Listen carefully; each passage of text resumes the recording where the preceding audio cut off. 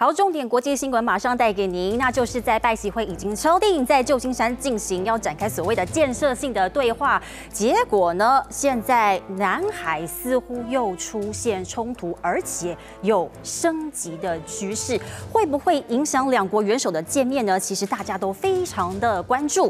好，那先前的时候呢，大家就有听说过啊，其实就是在这个南海的区域呢，中国大陆的政府啊，他们才刚刚讲说，他们为了自我防卫的关系哦，所以。就是对于这个菲律宾的护卫舰所谓的非法入侵呢，他们有进行自我防卫。现在呢，CNN 它又有最新的报道的，大概就是在上午的九点多的时候呢，他们又进行独家报道。他们说不是只是菲律宾哦，这个中国大陆的战斗机呢，就在对南海从这一艘这个加拿大护卫舰起飞的攻击直升机来开火。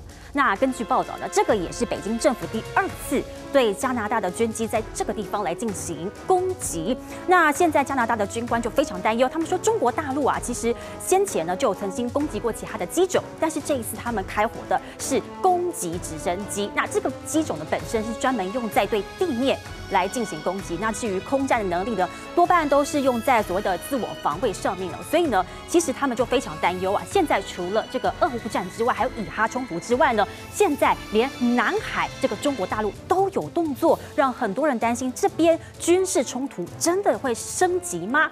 再加上就有专家认为说呢，美国总统拜登其实他先前就有公开表态说支持菲律宾。那另外的日本跟菲律宾他们有进行所谓的互惠准入协定的谈判哦，所以这样子的这个中日菲合做是不是会刺激中国呢？那外界就是不断的在观望。